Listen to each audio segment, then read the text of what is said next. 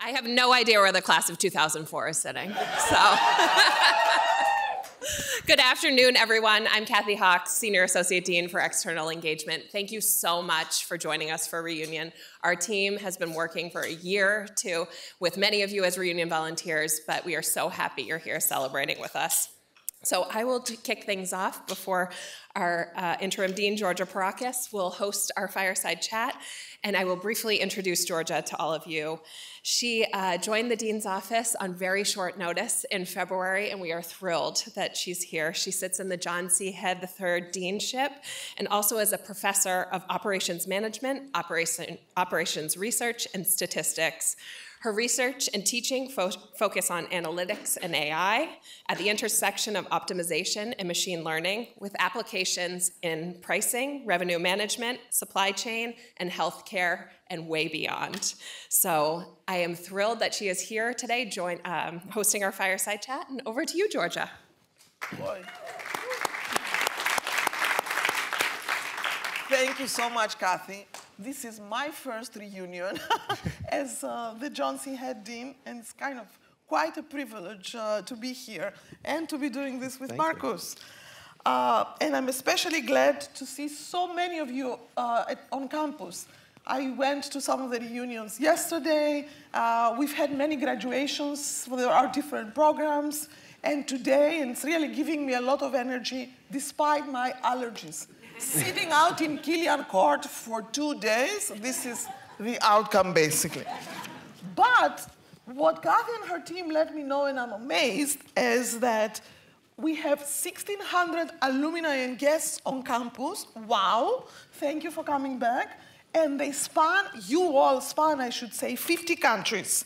So thank you for coming to Cambridge, to MIT, and keep coming, and my office is open to any of you that uh, wants to come and see us. But enough about uh, me and this, and let's get to really our guest of honor here, which is really a privilege to introduce Marcus Wilson, who is with us today, and who is uh, class of 2004.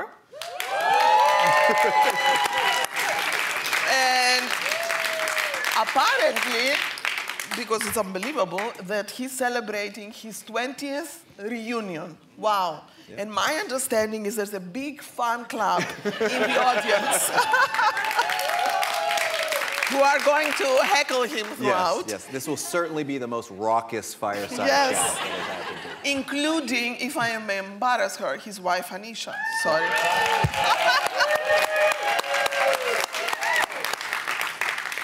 it takes two people to be successful. It never takes one, in my opinion. but to be serious, Marcus is the co-founder of NOBULL, which is an athletic footwear and apparel training brand that he launched with his partner in 2015. And in addition to NOBULL, he's really a seasoned entrepreneur, marketer, storyteller that has spent more than 20 years in the business, finding ways for big brands and startups to grow and be successful. Before NOBULL, he was uh, the head of brand strategy at Reebok and a venture investor and operator. He holds his undergraduate from Cornell University and an MBA from MIT Sloan from 2004, as we said. And he's been wonderful to the school, serving as a professional advisor to current students, to alumni, and so much more that I know he wants to get involved. So we really are thrilled to have Marcus here. And I should say that as I was looking into Marcus and you know hearing his podcasts and so forth, and I went to my trainer and I said, Dave, I met the co-founder of NOBULL. Have you heard of NOBULL? He looks at me and he says, Are you kidding? What do you think I'm wearing? I have many pairs. I'm like, All right, all right. But on a serious note, please welcome, uh, let's welcome Marcus and thank, thank you, you for joining Thank you very much.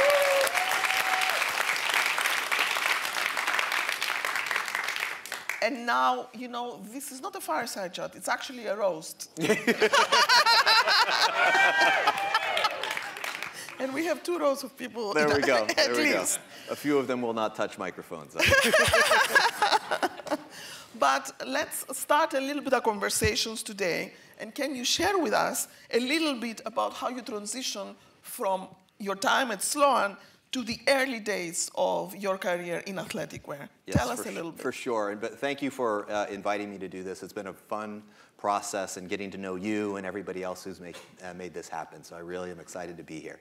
Um, so for me, uh, with MIT Sloan and many of the people here, uh, after Sloan I went to Reebok.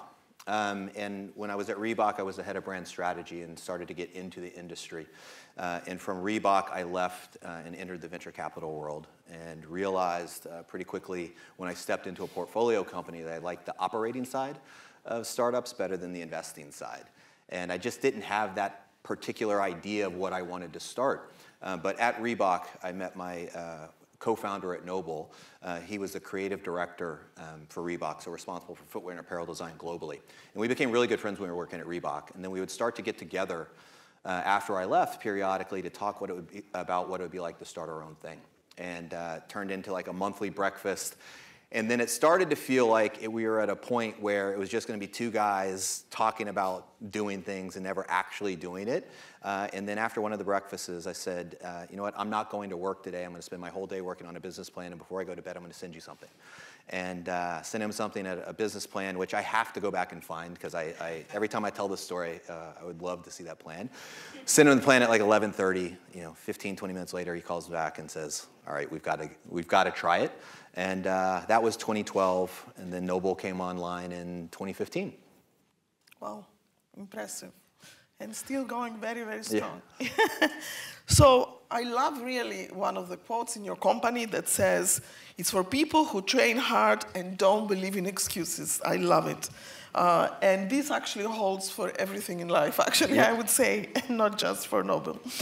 But from our conversations when we met, I understand that the way you got into CrossFit and all of that was because of your early stages in your career and how this pushed your body in the limit a little bit.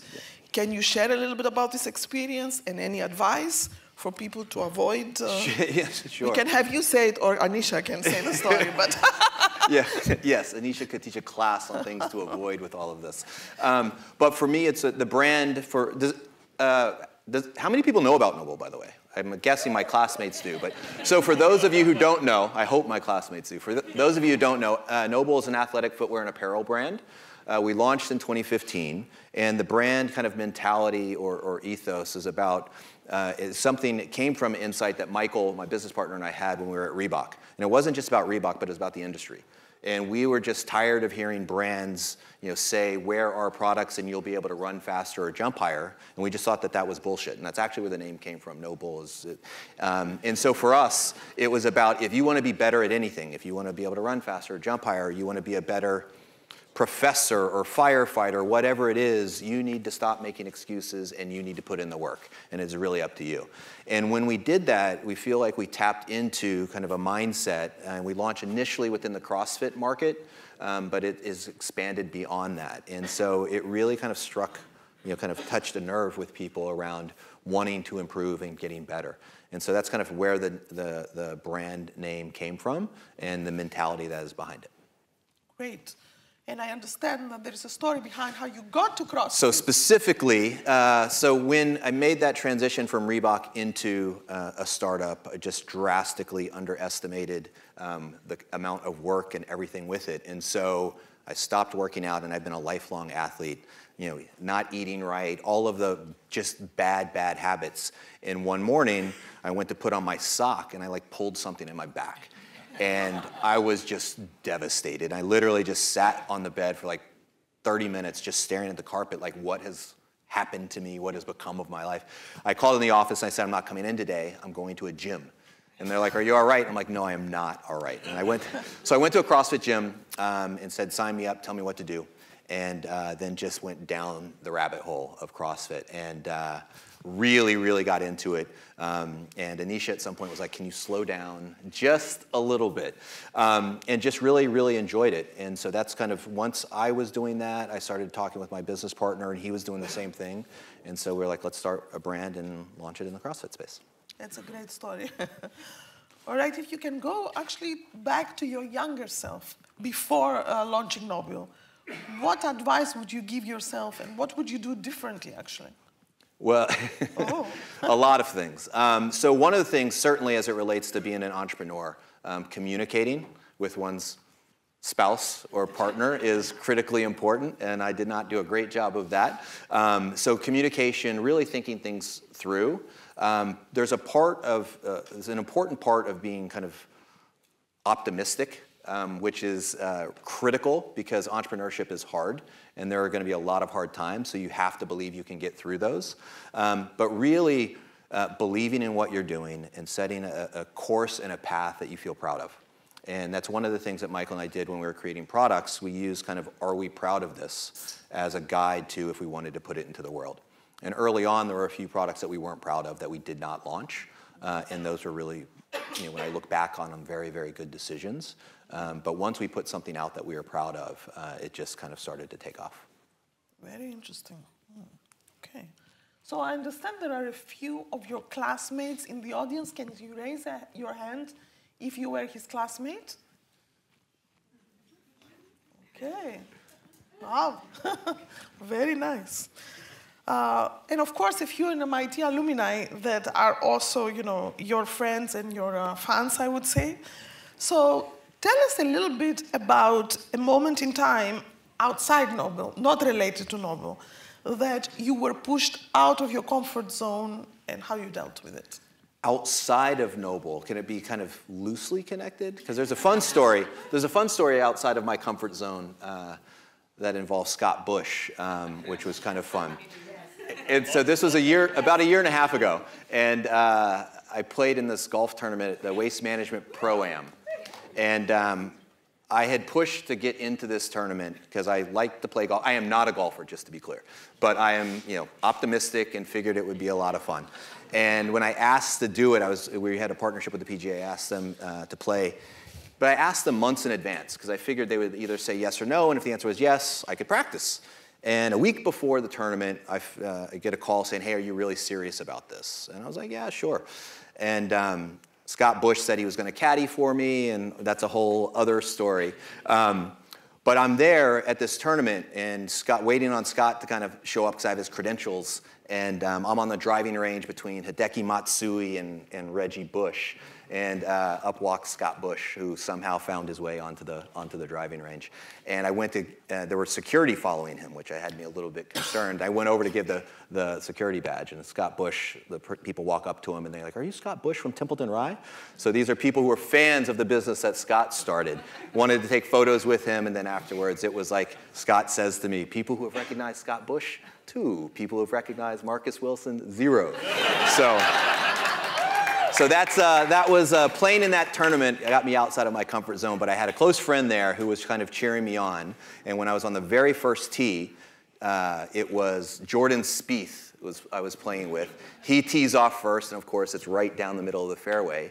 And I step, and then it's me. So after they introduced Jordan Spieth, they now introduce Marcus Wilson, co-founder of NOBULL. And I had not been playing golf, and I put my, I tee it up, and I look up, and I realize in that moment, this is how I did not think it through. There are fans lining the fairway for a, like a 150 yard sound. And I literally am like, I could kill somebody right now with this tee shot. And so the whole time I'm like, just please get it in the air. And yeah, so it was, uh, I didn't kill anyone. Uh, so it was a lot of fun, but I was way, way outside my comfort zone. Very interesting. So of course, you know, when you are in this type of business and we're talking about NOBULL, you really need to connect with consumers. So tell us what's your strategy about that. Well, for us in the early days, when it came to connecting with the consumers, Michael and I were consumers. The people on our team were consumers. We were avid CrossFitters. We really believed in the brand. The brand was actually a part of who we were. So we were creating products, again, that we were proud of. We were creating messaging that really connected with us and is something that we were putting out into the world. And it was also in 2015, it was kind of like the heyday of social media and all of these things. And with CrossFit in its infancy, you know, CrossFit, there, was, there weren't really professional athletes in CrossFit. The sport was being professionalized. So there was, you know, within the, we didn't do a lot of analysis around the CrossFit market, but it was a, you know, a, a just a very passionate consumer base, very price insensitive, um, and love new things, and also as a new brand, it was kind of a David versus Goliath type thing. So the community really leaned in, the athletes that we had relationships with uh, leaned in, and there's a really powerful word of mouth effect around it. And as you're connecting with your customers, have you ever traveled or had the story that you have uh, yeah, customers so connect with you? Yeah, one of the fun things about it is that, especially in the early days of NOBULL, within the CrossFit community, NOBULL was very well known, and outside of it, you know, people hadn't really heard much about it. Um, but within the community, very passionate. So there are all these times that will come up where uh, uh, someone would realize that I'm the uh, co-founder of NOBULL, and it would kind of change the whole dynamic. And once, one of the stories I told Georgia was uh, when I was going through TSA and my bag got flagged and they were t- starting to take everything out and he's like oh cool bag. And then he sees my cards. He's like why is all this NOBULL stuff? And i was like oh i'm one of the founders. And it sat up and he's like oh my and put everything back in my bag. It's like you know go on your way. And i was like please do your job you know? And he was like no thank you. It's great to meet you. So that was a really fun story. So yes well that was a great story. I wanted him to share it with all of you not just with me So I'm sure that you are currently facing, like every company, a lot of challenges. Tell me one big challenge you have and how you are dealing with it. Well, uh, scaling, right? So it's one of the things within, there are phases to starting a business. There are, you know, getting a business from zero to 10 million uh, is one thing. It's a different set of challenges scaling from 10 million to 100 million. And as you go beyond and you enter different phases, it requires different skill sets, different team members, all of those things. And so the challenge that we've had, one of the biggest challenges, is that we grew so fast. Um, it's kind of careful what you wish for. Really being able to get kind of systems, processes, and people uh, in place. So not only when you're when you're starting a business, you know, in our early days, it was a lot of the team members. It was their first or second job. Um, but as we were growing, it was every month was like a new record uh, for most of the team. And so when you start to bring in people with expertise of where you're going, then there's like the cultural dynamics of old guard and new guard, and you know the old guard is actually young, and the new guard is actually you know uh, older and more experienced. And those have been some of the biggest challenges that we've we've had, and being able to get those uh, to be able to keep up with that, and uh, and then recognizing that you can't always, um, and you've got to figure stuff out along the way. And as you're dealing with challenges like this, and I'm sure many others over the different stages of your careers, what are some things that the Sloan School taught you and that has stayed with you and helped you and maybe still hopefully helps you to get through them and be the leader that you are? Well, one, you know, a lot of those reasons are here on the front row, right? It's, it's the, the alumni network, your friends, your classmates, being able to talk to people who have gone through similar things. And actually, this, uh, uh, just since I've been here, there was a student panel that I went to yesterday, and hearing from classmates who are, you know, actively starting a business now, classmates who have recently exited businesses, and kind of everything in between. And then also what people are dealing with in life. You know, it's at, we're at a stage, you know, for at a 20-year reunion, we've all had to deal with a lot of personal things, personal loss. There's classmates of ours who have passed away, um, and people who've had family struggles and all that. Like at our you know, five-year reunion, there was a lot of stuff that we hadn't even encountered yet. Um, and I'm sure people who are here for their 25th and 30-year reunion are like, you haven't seen anything yet. Um, so it's like really uh, um, recognizing um, just life as a part of all this is something that's very important, and I've really started to appreciate even more just uh, with all of these things. But having a network of people that you can lean on and talk to is critically important, and being willing to talk to people. Um, and then, obviously, uh, family and friends and significant others. You know, I think I'm asking too many questions just myself, and I think I want to ask the audience to what questions do you have for Marcus? And if you don't ask, I'm going to call call on people. okay. Yes. One of my former students here. oh, hey Ben, thank you. Congratulations, especially. Sorry. um, I'm Ben. I'm a fan of the brand. I think the floral at the bottom was a cool thing to see, and you've developed the line. You know, I've got a question. Like, I, um, I started a consumer brand a few years ago that's just hit 10 of sales. And now I'm at that point where I'm exactly thinking, oh, I've got to bring the different people in.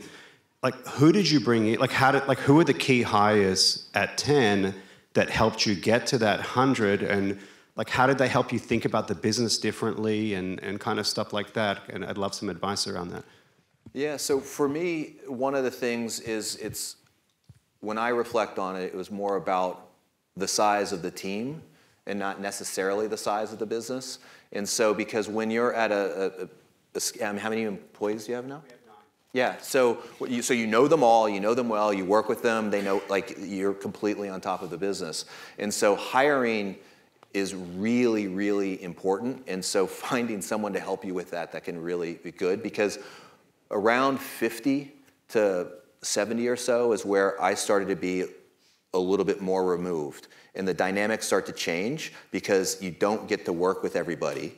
You start to like, you have to trust people more. And then also, especially as a founder, it was weird for me, but then people start to get you know, uncomfortable around you, intimidated by you, and not wanting to um, uh, bring up problems because they want to solve them before they come to you with it.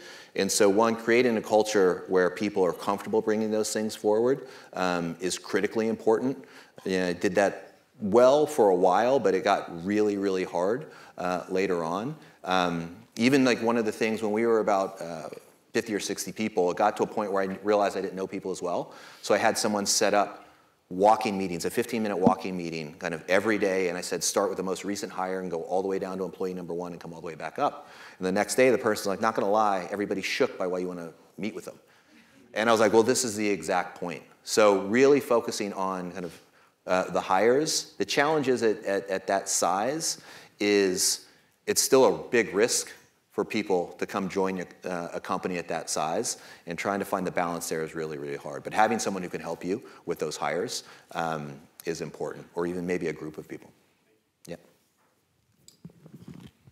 Or here. I guess you want as many customers as possible.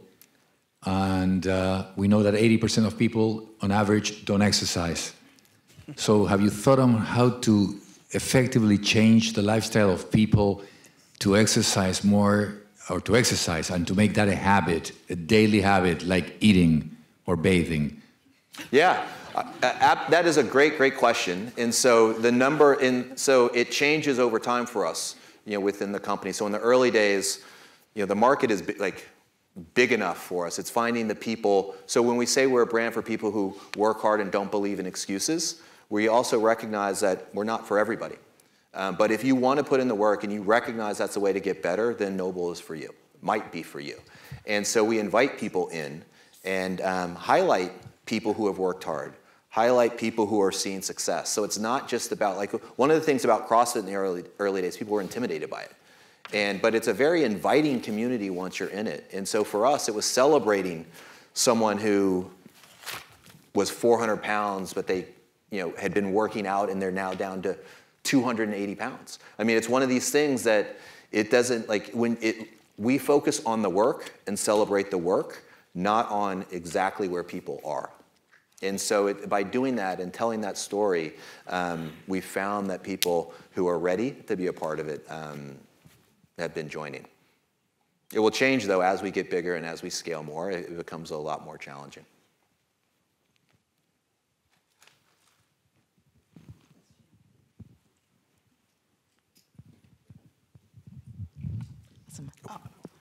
Um, thanks a lot for your time. Uh, quick question for you. When you first started your business, were there any preconceived notions or assumptions that you made about your business or your consumers? Um, and those assumptions have changed, or you kind of validate those are false along the way. And um, did you make any kind of key pivots in your business along your journey? So as far like the way that we launched, we knew the the consumers really, really well. There wasn't a lot of research. There wasn't a, uh, you know, a lot of work that we put into it. Um, and going, again, when you have zero dollars in revenue, um, it's a new brand for a lot of people. So there weren't a, lot of assumptions that we made that were, were off. There were risks that we took. So the, the point about uh, the shoes with flowers on them. So we're a brand for people who work hard and CrossFit, and it's like pretty, a pretty, um, intense sport. But one of the things that we did early on, we had this uh, athlete um, uh, who was built like a Viking. I mean, he was like a G.I. Joe action figure. He had a, a, a beard, braids, and was just jacked. And we created this concept um, called uh, of a floral shop where we created this fictitious thing where we, it's like he was a florist. And we launched these shoes with flowers on it. And to this day, people think he's a florist. Like people in the CrossFit community think this guy's a florist. And this was like in 2016 or 2017. Um, and we were just taking a risk and trying something, and we didn't know if it was going to work. And uh, when we put it out there, the shoes just you know, evaporated. I mean, they just sold so quickly. And then we started to lean into it. We took risk, other risks, where we tried to create a coffee shop for one of our other athletes, and no one was really into it. So it's like you take a risk and you lean into the ones that work.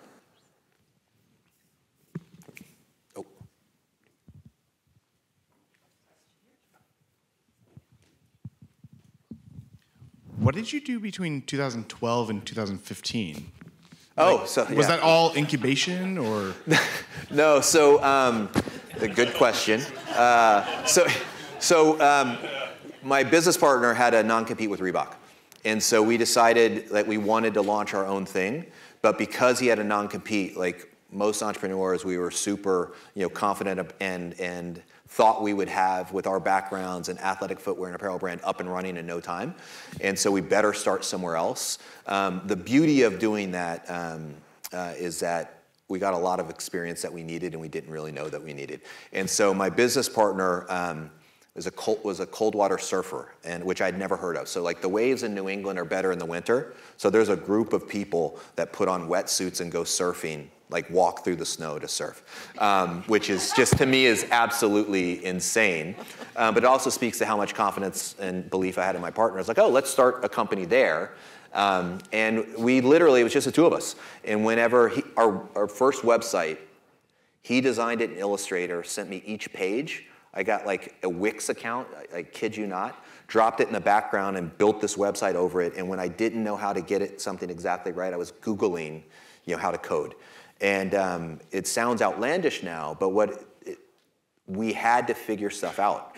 And we learned along the way. And then whenever we put anything from that brand out into the world, people in our network who were at startups were like, love your website. We need a new website. Who designed it? And we said, well, we did. And they said, would you design one for us? and so organically, an agency, we built an agency out of that, that then ended up allowing us to kind of bootstrap the business.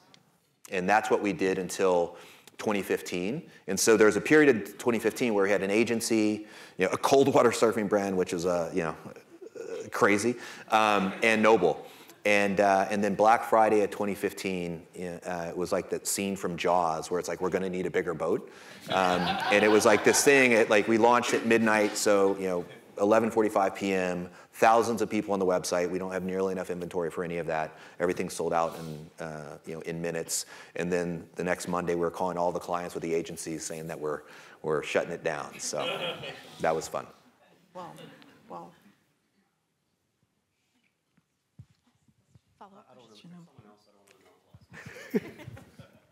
So I'm, I'm curious how you uh, get to the point where you launch your website before midnight and then you got a thousand um, users already.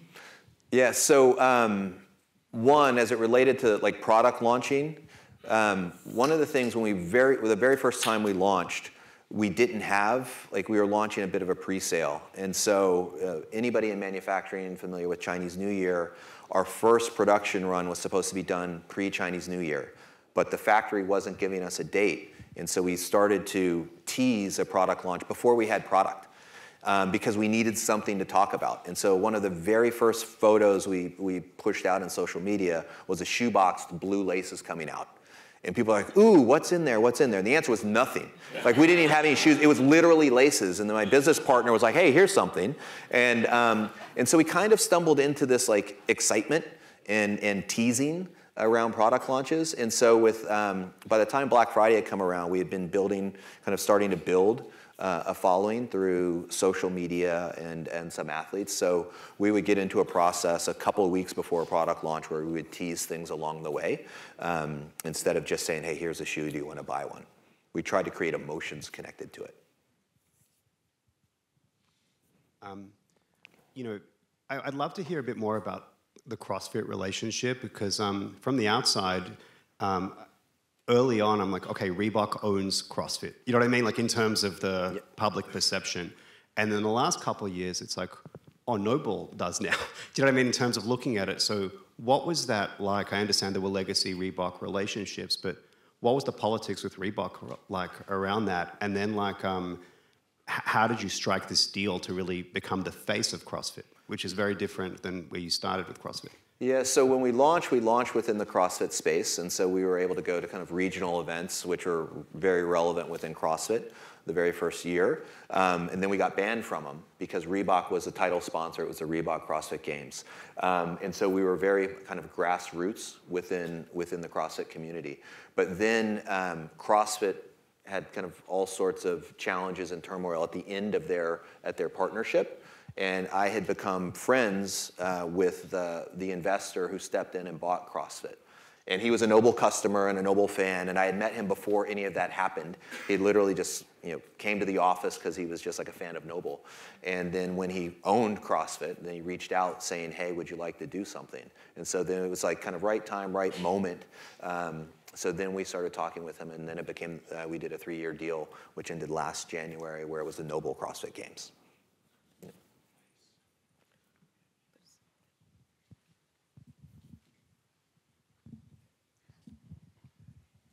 Hello, um, thank you so much. I'm really curious to know. Um, clearly, you have a very strong affinity to CrossFit, and that was a natural fit.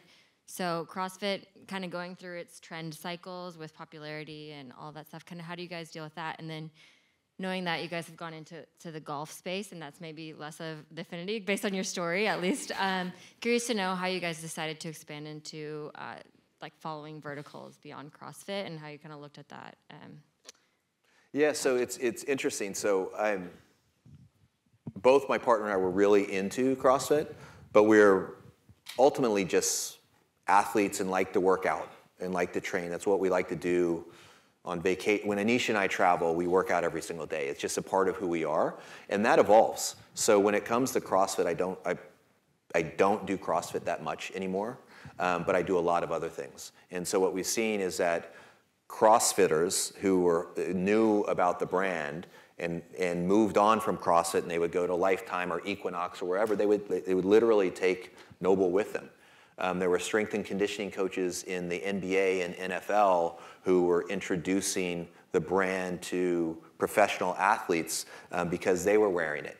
And so there's this really cool, especially in the early days, organic um, spread around it. And one interesting thing about us being a training brand that I think is going to be beneficial for us longer term because we are seen as a training brand. And so we have athletes in every sport in the world training in NOBULL and then asking us for sport specific products. So golf is a perfect example. Scott Stallings is one of our, now one of our um, sponsored athletes. He was a, uh, a CrossFitter early on and use CrossFit and high intensity interval training um, as his kind of training protocol. So he knew NOBULL and he came to the office one day. I didn't know who Scott was. Um, I wasn't at all thinking about golf. And uh, he just showed up in the, the office one day to meet some people. And he was like, golfers are getting fitter.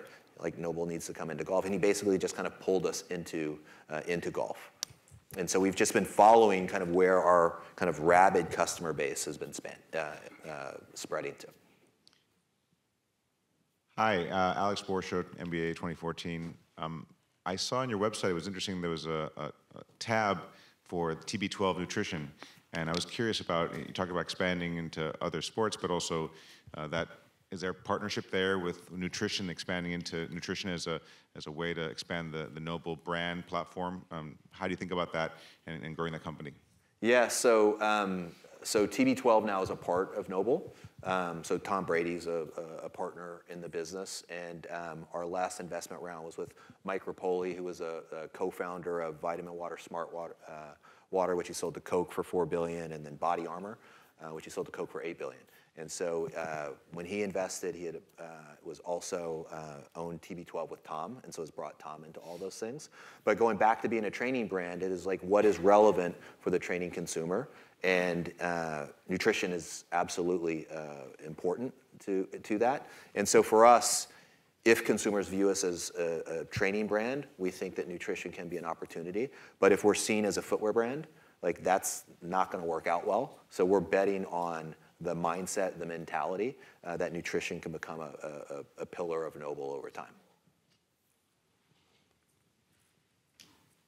Great that you picked up on that though, because it's not a, uh, we haven't really formally announced all of that yet.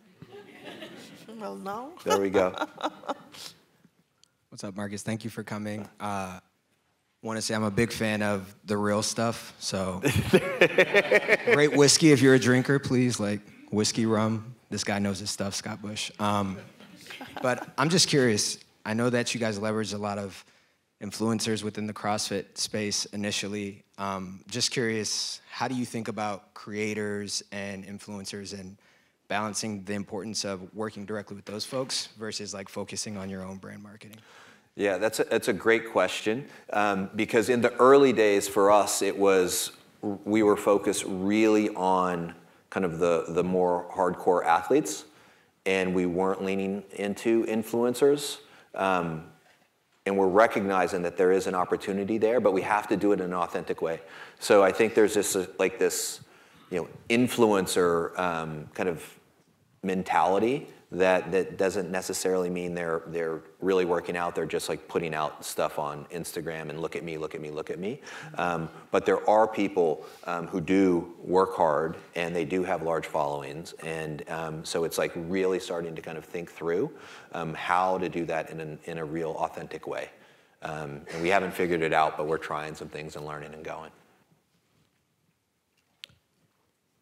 Marcus, how are you doing, sir? All right, Chike, how are you? So, so, so two questions, but the first one is really, really the most important question. We'd like to know which of your classmates in the room, and you have to pick one, is the most inspirational on your journey. So, I have a great answer for this. I have a great answer for this, and this is like a political answer, so I'm to answer a different question. And I'll tell you the, the classmate in the room who, and I'll tell you the specific incident, instance because it also connected to another alum. The classmate in the room who had my back the most at one moment in time, and that's Chris Bell. And this is, we were at, what was the, it was a, the end of the year event where it was, this was, we, we were, it was 04s and 03s, and there was, may or may not have been alcohol involved and may or not may not have had a lot of trash talking going on. And by the end of the night there was a bet that was about a one-on-one basketball match between me and uh, an 03 and i was astounded that no one thought i could win. And the only person who had my back was chris. Now now because of the alcohol i was going to beat i said i could win you know 11 to 0 and um, and everybody, and it escalated because this guy was like, you got to be kidding me. And then I was like, you got to be kidding me. And then the next day they were calling saying, hey, you can back out of the bet. And I'm like, I'm not backing out of anything. and it escalated to a very end of the year event where this basketball match was going to happen. And the only person who had my back the entire time was Chris Bell. So. and Chris and I won some money that day too, just. Uh, so, so okay. So now, so now, a more serious question. When you, when you, kind of, be optimistic and you know push yourself to the the big, hairy, audacious goal, right? And what's possible. What? Tell us a little bit about what you what you think about where you want to take NOBULL over time. So and that's evolved over time around that because when, when at least for me when you start something you, it, it not really knowing where it's going to go not really knowing kind of the, the when and how momentum or if momentum will come. Um, so it's something it's kind of a, a, thing to kind of reflect on you know every six months or you know every few years around it and, my, and the answer to that has kind of changed along the way. So where i am now the stage of life you know, that Anisha and I are in, it's like you know, how do we expand this, you know, to a place of success, and then how do we kind of live after that, right? So it's now I'm 52, And it's like, okay, how do we, in our, our daughters, we have a 15 year old and a 19 year old. Our 19 year old's in college. The 15 year old is a freshman, finishing her freshman year next week of high school. Um, and when she graduates, we are empty nesters and we are not like tied to any one place. So starting to think about all those things differently around life after NOBULL. I think we have time for one more question. How are we doing with time? Okay.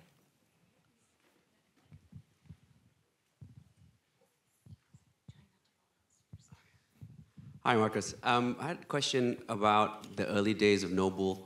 Um, like you said, you didn't have a product yet, and perhaps social media was not such a big thing when you launched. So, how did you build that initial buzz around the brand? And then, you know, after that Black Friday moment, how did you keep that momentum going? So for us, a lot of the things we kind of stumbled into, right? So it was like we had to create content even when we didn't have product to kind of get things going. Um, we bought for our first production run, we, we made as many shoes as we could afford to buy. Um, and then uh, the manufacturer ended up delaying the first product run. So it was supposed to be a two week uh, pre-sale, and 15 minutes before that very initial launch, uh, they said that the product they were going to make pre-Chinese New Year, they were just going to make after Chinese New Year, which it suddenly went to like a three to four month uh, pre-sale. But we had put so much work into it. We, we did feel proud of the product that we were making. And at that point, it was like, you know, screw it, let's just go. And we launched it. And then what happened was we sold product that we, and it hadn't even been made yet. And so it was the first night, the first time I, I went to bed and woke up in the morning and had made money, right? It was like this really cool experience. And then we sold out of all of that product before it even been made. So when the factory came back from Chinese New Year, we said, all the product that you're making for us, you, we need twice as much. And so then we started doing pre-sales. And so we would, uh, uh, and, and, the comp- and the product would sell out very, very quickly. So it became this sense, uh, it created the situation of like urgency to buy the product for our customer base before it was gone. And we weren't doing that as a way to just, we weren't trying to create demand. We were just making as much product as we could. And so when we realized the excitement around it, and like the very first floral launch that we had, products sold out. And then it was four months before we could bring back any of the floral. Um, and people were asking for it every single day, every single day. Similar thing on that first Black Friday. We made all black trainers uh, that sold out rapidly. And then we had a really difficult decision to make. Do we make them, do we uh, make more right away, or do we wait? And so we waited until Black Friday of 2016. Um, and every single day, people were asking us for the all black trainer. And then when we started to tease it uh, in 2016, there was so much excitement. And we tried to make what we thought was like a month's worth, and, uh, and it sold out within like 24 hours. And then in 2017, the same thing. We like we held off, didn't make any more, um, and then thought we were making a month's worth, and it sold out, you know, in a week. And in 2017, we were like, what, like the, the, largest short store on Shopify for like the first hour of Black Friday, and like think number three in the world on the on Black Friday, um, because of the excitement and anticipation and the urgency people recognize that if they didn't buy it right away, they may not be able to buy it.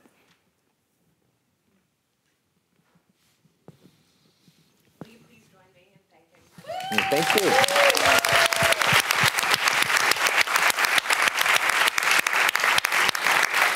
And I'd just like, I'd like to thank everybody who is uh, missing the soccer match today. Thank you for coming. hopefully not watching on their phone. I see you. Please join us out um, in the hall for a quick drink uh, and chat with each other. We'll start our next session with Georgia at 4:15. Thanks so much.